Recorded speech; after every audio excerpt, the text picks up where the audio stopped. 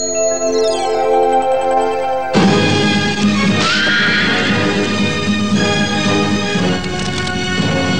встретились впервые.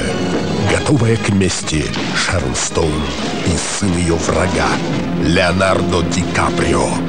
Начало романа. Нет, это больше, чем просто любовь. Это схватка со смертью. Или ты быстрый, или ты мертвый. На Первом канале в приключенческом фильме. «Острый и мертвый» мировое кино.